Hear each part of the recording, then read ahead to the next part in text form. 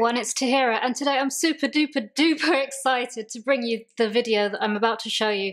Um, you see, uh, you might have seen um, previous videos of mine where I've been um, showing off the HeidiSwap Minc machine, and it's really, really cool. You can use it with any kinds of um, pre-prepared Heidi Swapp uh, designs which have been created for you to use with the Minc specifically, or you can create your own designs by um, printing off a design with a laser printer and then running that through the Minc machine, and that will work too.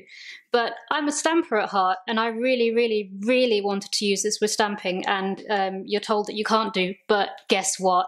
I have invented this super awesome, really, really cool technique to be able to do that with stamping. That's right. This rose here that you can see, that's been stamped and it's been foiled. And this is not done with any photocopying, nothing like that. It's a really, really cool idea, and I'm so, so happy to be bringing it to you today. Um, you only need a few supplies, so let's get started. Right, the first thing I'm going to need is a piece of cardstock. This is Avery Elle um, pure white cardstock. Um, and the next thing we're going to be doing is just preparing that surface. I'm going to be using the EK Success powder tool to do that. So just as if um, you were heat embossing, you want to just prepare this surface so make sure it's got a good coating of powder everywhere and you'll see why very shortly. Okay, so the next step is we're going to foil, sorry, we're going to stamp that rose. And as you can see, it's that center sort of most delicate portion that we're going to be foiling. Um, I'm going to be using this stamp set from Altenew. It's called Vintage Roses. Let me just zoom out for you a little bit so you can see it better. There we go. And I'm going to be doing this four step rose and it's actually this image here that we're going to be foiling. So I've got my stamp prepared on my block. Let's just zoom back in. And I'm going to be inking that up with Versamark ink, like so. And I'm just going to stamp this in the center of my cardstock. Like so. Right, you probably can't pick that up with the camera, but it doesn't matter because the next step is the one that's going to blow your mind. So we're going to be using some of this stuff. This is toner powder. Um, this is stuff that you would use to refill your toner cartridges in your printer.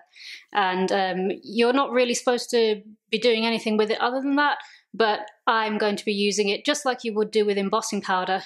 I'm going to use it in a similar way, but to foil. So just going to set that to one side. Um, now, toner powder, I've read up on it, I've done a lot of research. It should be fine and safe to use, but just some safety precautions.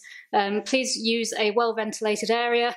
Um, don't have any heat sources sort of lying around nearby.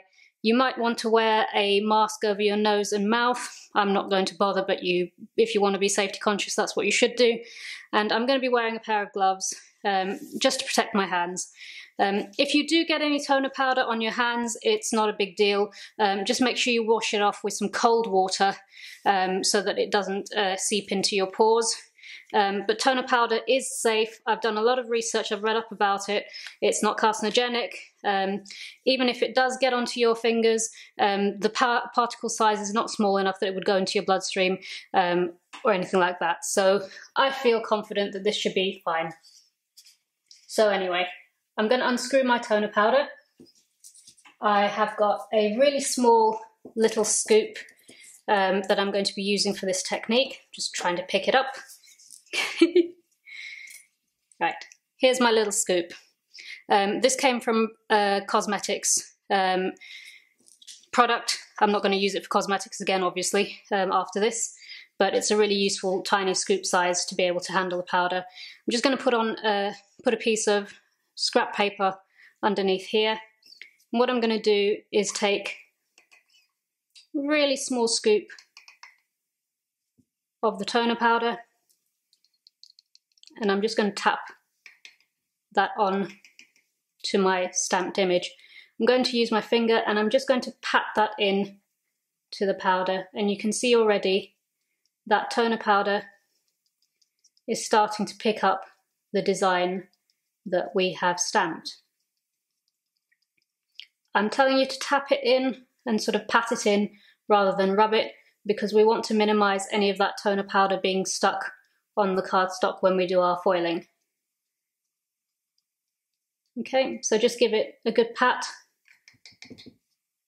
and just going to take my gloves off for the next step because it's a little bit easier.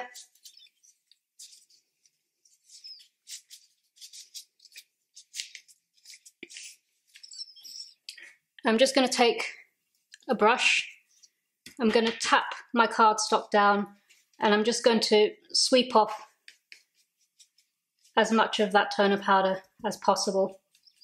If there's just a tiny bit left on the cardstock, it won't matter, it won't foil, but obviously we're going to be doing some stamping on this afterwards, so we just want to try and keep that cardstock clean so that our colours are true.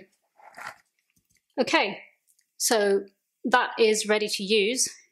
Um, just give me a second and I'll get my Minc machine for you.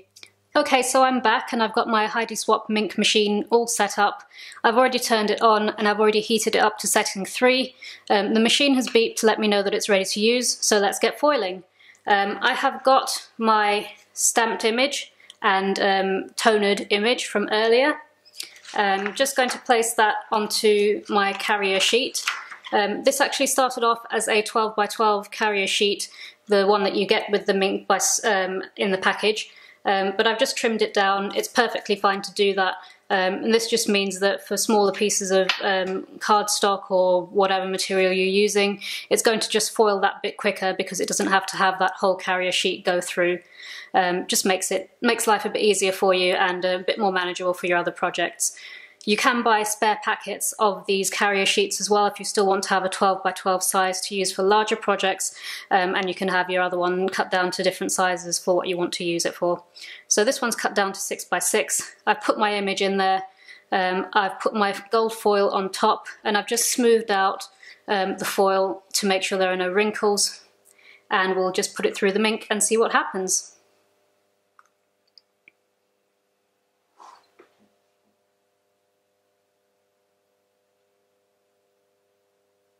So it does take a couple of minutes still to go through.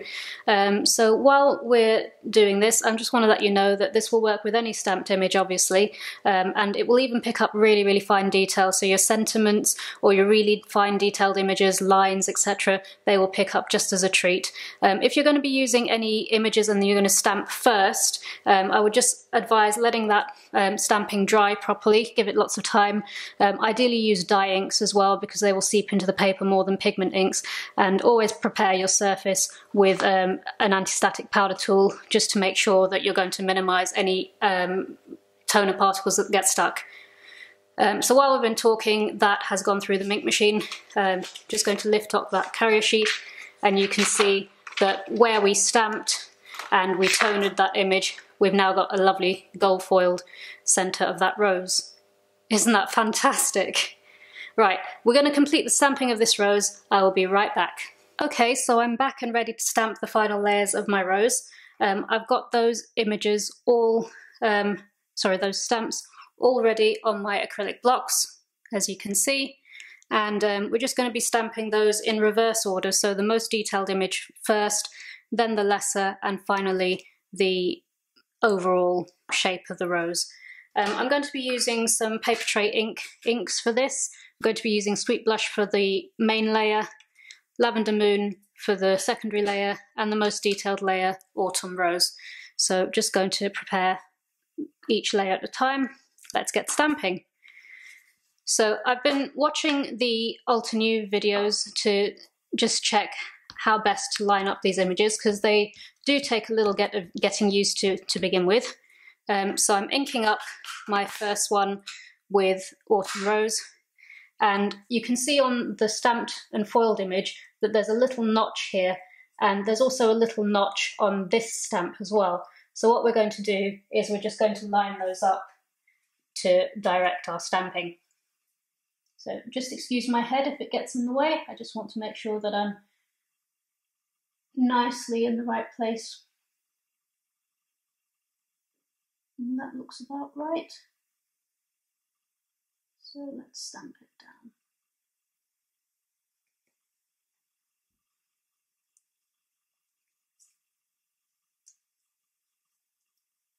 Okay, now we're ready for our next layer.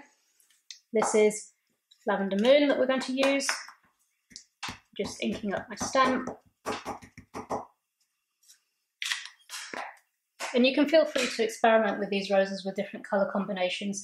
They really are beautiful and work with a lot of different uh, a lot of different colours. Um, so for this stamp and this stamp, I'm going to be lining up these edges. Like so. And stamp it down. Our rose is almost done and you can almost see the shape of it as well. Uh, my stamping's a little off, that's because I can't get my head right over the stamping. Um, so our final layer is going to be Sweet Blush ink. So just inking up my stamp.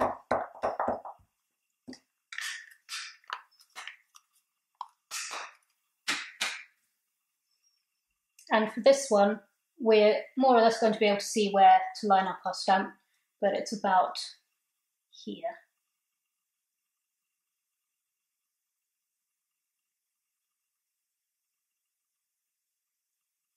By the time you get to this stage, you can't actually get this very wrong. So I'm not going to fuss over it too much. I'm just going to stamp it around here. As long as you're containing all your other colours within that main shape, I think you're good. And there we have it. That is a stamped and foiled rose using Altenew's Vintage Roses set and Heidi Swapp Minc Machine and a clever little technique from yours truly. Um, if you have any questions or if you want to see more of these types of videos, please let me know. Um, I would love to bring you more ideas from the Heidi Swapp Minc Machine. Um, but in the meantime, I think this is going to expand your stamping possibilities and your foiling possibilities um, many, many fold. Um, thanks so much for watching, and I'll see you again soon next time. Bye!